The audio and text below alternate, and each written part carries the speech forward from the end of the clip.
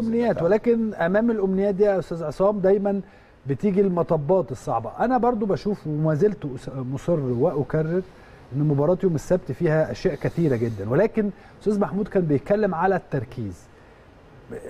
جمهور الأهلي محتاج يفهم برضو أو يعرف قد إيه الفرق ما بين التركيز والتركيز الزيادة. آه طبعا. لأنه التركيز ده مطلوب. إحنا دايما بنطالب الكل أو كل. ما كنا بنلعب كانت الناس كنت تقول ركز في الماتش. الزيادة دي خوف على فكرة.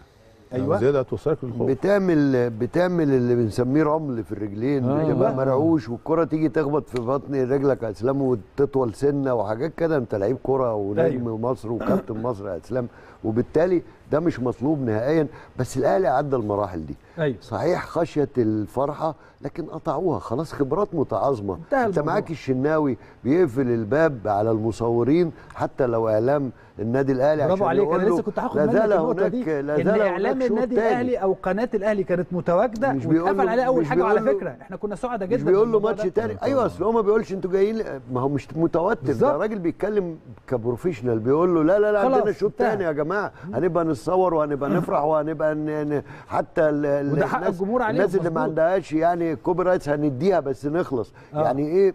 مش وقته.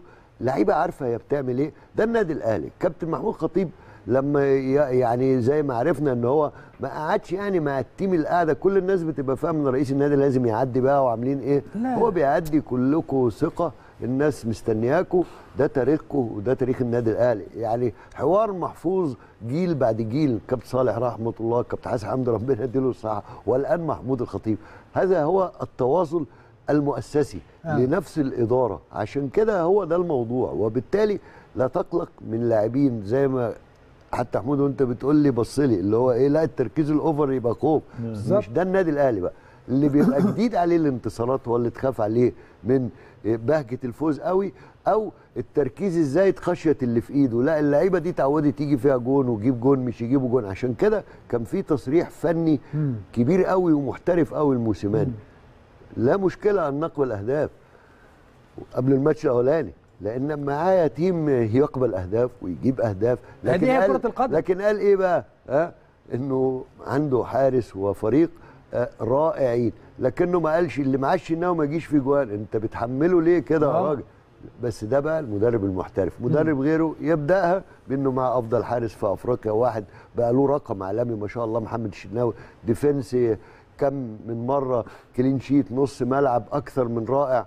محمد شريف اللي لو أي لعيب غيره مع جهاز إداري زي سيد والذين معه حتى دكتور عمرو محب كراجل بيترجم لكنه بيتكلم مع اللعيبة وموسيماني وأنا مصر إن الراجل ده هيقدم أكثر من ذلك بكثير.